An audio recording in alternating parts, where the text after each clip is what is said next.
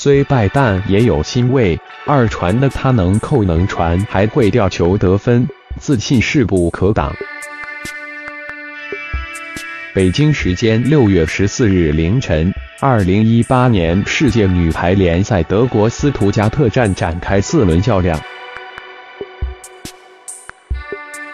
面对强阵出战的劲敌荷兰，年轻选手主打的中国女排把握机会能力稍逊，激战四局后一至三告负，遭遇本周的首场失利，四局比分为二十四比二十六、二十五比十七、十七比二十五和二十一至二十五。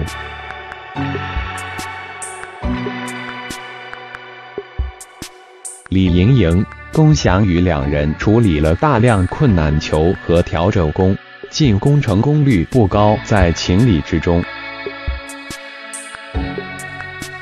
中国队拦网得到十四分，对方只有七分。尤其是第二局的拦网相当出色，发挥出了身高优势。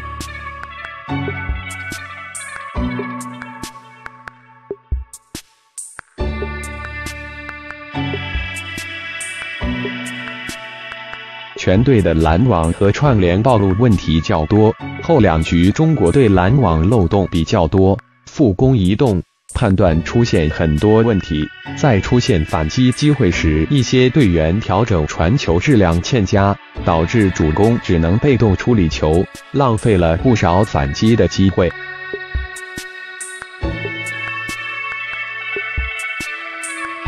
第一局局末，中国队几次攻传配合不够默契，浪费了两次得分的机会。如果拿下第一局，可能还会给荷兰队施加更大的压力。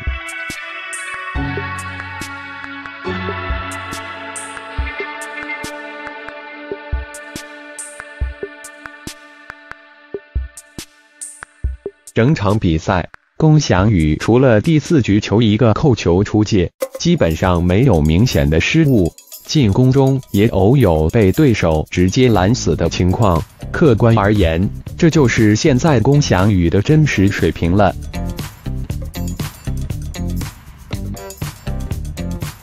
作为二传出身的他，多次吊攻他的上手传球给到四号位的主攻，都是相当到位。而且有一个明显进步，就是现在龚翔宇跟防吊球意识明显比前几站有提升。这场比赛荷兰队的主攻吊球大部分都是被龚翔宇跟到了。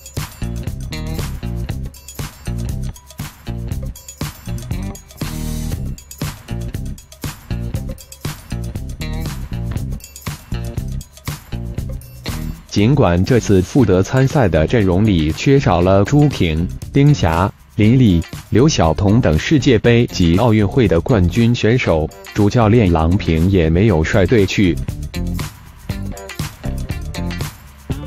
但是只要是穿上了中国女排的队服，就是代表中国队参赛，所以不存在一队二队之说。国家荣誉面前。每一个人都应该守住中国女排的荣耀和辉煌国际排坛快四十年的金字招牌。